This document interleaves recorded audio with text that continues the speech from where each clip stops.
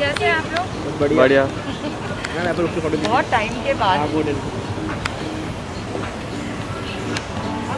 पहली बार लंच पे आ रही हूँ मतलब ये पूरे डेढ़ साल में डेढ़ साल में हाँ।